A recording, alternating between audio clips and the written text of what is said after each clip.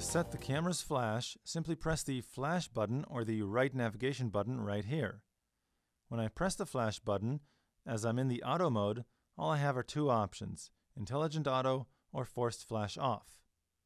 Press Set to choose one of these, or give it a second to go away.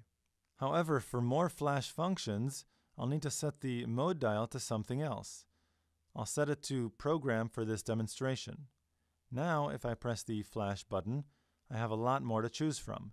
I'll just use the up or down navigation buttons to choose the flash setting I want, and then press Set to accept. I normally don't use auto or auto red eye.